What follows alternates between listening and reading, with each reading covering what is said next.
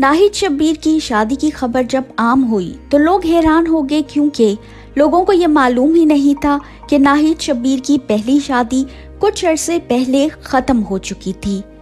कुछ लोगों को ये भी मसला था कि नाहिद शब्बीर की उम्र ऐसी नहीं थी कि वो शादी के लिए इस कदर तैयार होती।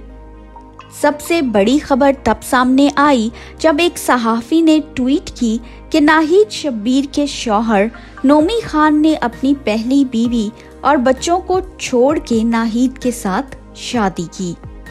बल्कि सहाफ़ी ने ये तक कहा कि नोमी खान ने अपनी पहली बीवी और बच्चों को अपनी ज़िंदगी से बेदखल कर दिया। सिर्फ़ ये नहीं, नोमी की पहली बीवी के जानने वालों ने ये भी बताया कि इनका बर्ताव अपनी पहली बीवी और दो बच्चों के साथ बहुत बुरा था। इसके अलावा उन्होंने एकदम से अपनी पहली बीवी और बच्चों को नाहिद शब्बीर से शादी करने के लिए बेआसरा छोड़ दिया।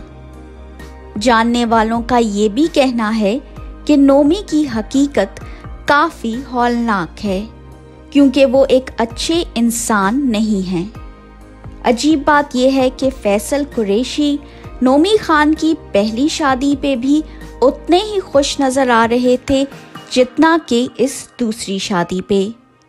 काफ़ी सारे लोगों ने पहले तो नाहिद शबीर के हक में बोला, लेकिन जब हकीकत से आहिस्ता आहिस्ता पर्दा हटना शुरू हुआ तो लोग हैरान हुए बगैर ना रह सके। नाहिद शब्बीर के दूसरे शौहर नोमी खान पहले एक प्रोड्यूसर थे और अब सरकारी एहलकार हैं। तंजीला मजहर का ये भी कहना था कि हमारे ड्रामों में रोज़ ऐसे किस्से दिखा दिखा के लोगों को बेहिस बना दिया गया है। अपनी राय का इजहार ज़रूर करें और सब्सक्राइब करना ना भूलें।